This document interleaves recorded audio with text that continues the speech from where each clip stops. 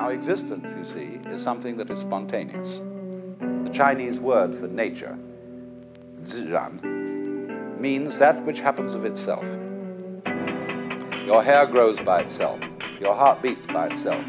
You breathe pretty much by itself. You don't have voluntary control over these things. So we say it happens spontaneously.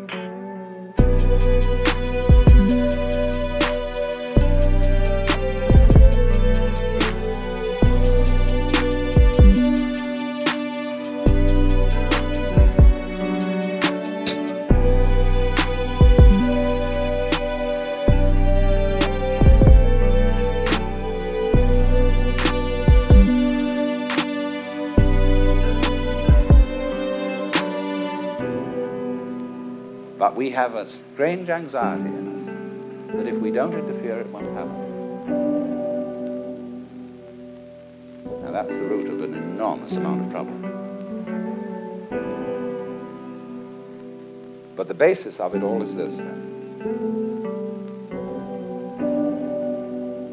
If we say, you must survive, or I must survive, life is earnest, and I've got to go on.